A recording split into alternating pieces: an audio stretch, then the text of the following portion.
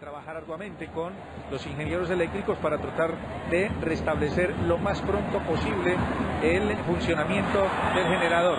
Esto que acaba de suceder era lo previsible, según lo que habíamos recogido en cuanto a versiones de eh, la logística, que era importante que se apagaran los dos generadores para poder darle start una vez más a todo el bloque de generación de energía. Ahora sí estamos en penumbra eh, aquí en la cancha de Palma Seca y el espectáculo, a decir verdad, es bastante llamativo, ¿no? Porque eh, aficionados con sus smartphones están tratando de iluminar y es un espectáculo bastante curioso que a esta hora podemos observar aquí en la cancha de Palma Seca. Llamativo el espectáculo por demás, eh, oportuno lo que hacen los, los aficionados, los seguidores y eh, a esperar a que se reanude la generación de energía y por supuesto que esto permita la alimentación de las bombillas y reanudar el compromiso. Aquí por lo menos de 10 a 15 minutos va a tardar, eh, si es que de manera pronta se reinicia la labor de los generadores de energía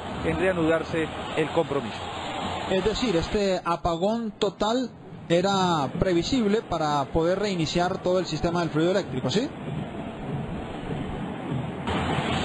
Así es, Daniel, es lo que dice el libreto de los ingenieros.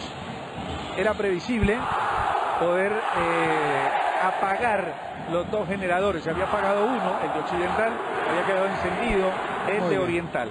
Bien, se apagó también el de Oriental y ahora seguramente que va a ser pues labor menos compleja el reiniciar la labor o el trabajo de los generadores de energía aquí en la cancha de Palma Seca.